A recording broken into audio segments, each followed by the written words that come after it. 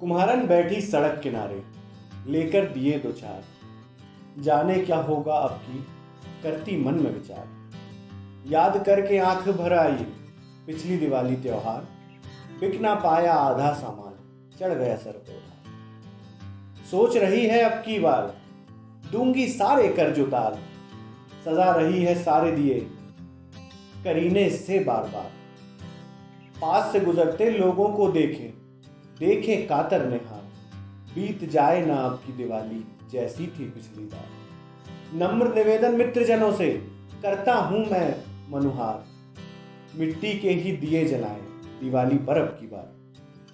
दोस्तों, मैं हूँ देव सिद्धार्थ, और आप देख रहे हैं आपका यूट्यूब चैनल ओएस का आज ये वीडियो का विषय काफ़ी संवेदनशील संवेदनशील है कि हमें ये बनाना पड़ा। विषय कुछ यूँ था कि आज सुबह ही एक वाक्य हुआ कि दिवाली का बाज़ार भरने लगा है रास्तों पर। आधुनिकता बढ़ी है। लोग बढ़े हैं, विचार बढ़े हैं। लेकिन हम इस बात पर भी रोशनी दें कि दिवाली क्यों मनाई जाती थी।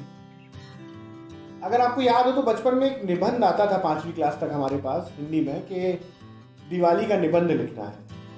अब दिवाली के निबंध की सबसे पहली जो लाइनें होती थी, वो ये होती थी, अगर आपको याद हो कि दिवाली हिंदू धर्म का एक राष्ट्रीय पर्व है, इसे सारे धर्म मिलके मनाते हैं, हिंदू धर्म के साथ साथ लोग मिलते हैं, एक दूसरे के घरों की मिठाइयाँ ले जाई जाती हैं। हम अपने घरों में दिए जलाते हैं, हम अपने घरों में मिट्टी के दिए जलाते हैं। और इसी निबंध में एक लाइन और आती थी कि दिवाली का त्यौहार मनाया इसलिए जाता है क्योंकि भगवान राम वनवास से अपने घर लौटे थे। तो पूरी अयोध्या ने, पूरी अयोध्या ने, पूरी अयोध्या के लोगों ने मिट्टी के दियों से अयोध्या को रोशन किया, वहाँ पर रोशनी जगा जगाई, और दिवाली एक रोशनी का पर्व भी है। दिवाली रोशनी का पर्व है। हम मानते हैं कि हमें आधुनिक होना चाहिए, हमें आगे बढ़ना चाहिए, लेकिन हम ये भी याद रखें कि पहले त्योहारों में जितना मुझे याद है, और आपके साथ भी, क्योंकि हमारा बचपन कॉमन ही रहा होगा, हमारे घरों में अलग अलग प्रोफेशन के लोग आते थे। कोई सलून वाला जो उस समय हेयर कट करते थे प्रॉपर एक काम हुआ करता या जो बटाई पे हमारी ज़मीन लेता है, या कोई और काम करने वाला जो हमारे घर पर आता है। और क्योंकि हम सक्षम हैं, इसलिए हम उन्हें दान देते थे। और वो उस दान को आगे कैसे बढ़ाते थे? क्योंकि वो दान नहीं दे सकते हैं, इसलिए वो दिए खरीदते थे। या बाज़ार से कोई और वस्तु खरीदते थे, या घर की झालर हो या कुछ भी बहुत छोटा सामान जिससे वो अपने घर को सजा सकें। उनका घर रोशन दिखे दिवाली में। लेकिन अब वैसा नहीं है। जो मैं बात आपसे कह रहा हूँ, वो ये थी कि आज सुबह में गुजर रहा था रास्ते से? मैंने एक बूढ़ी औरत को देखा जो दिए बेच रही थी। मेरे उससे पूछने पर कि मैं आपसे दिए लेना चाहता हूँ तो उन्होंने मुझे बोला कि मतलब तीस रुपए के एक दर्जन वो दिए लगभग दे रही थी मुझे।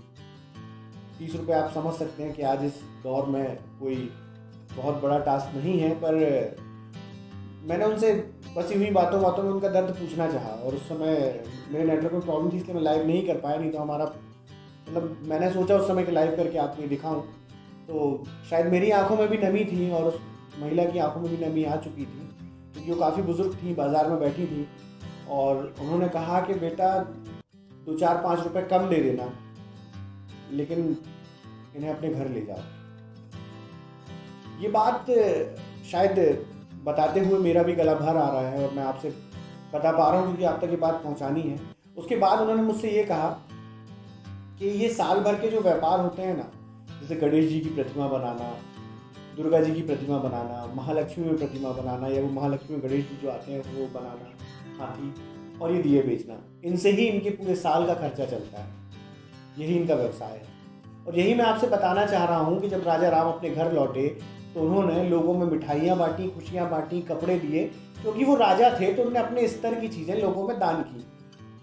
लेकिन हम अपने स्तर की चीज़ें। और मैं आपसे दान करने नहीं कह रहा हूँ, मैं आपसे सिर्फ़ इतना कह रहा हूँ, जो छोटे व्यापारी हैं हमारे बाज़ार में, जो फल बेचते हैं, जो दिए बेचते हैं, जो झालर बेचते हैं, जो भी छोटे व्यापारी हैं, उनसे खरीदारी करें, ताकि आपके घर की बड़ी खुशियों का एक छोटा सा हिस्सा उन तक भी पहुँच सके।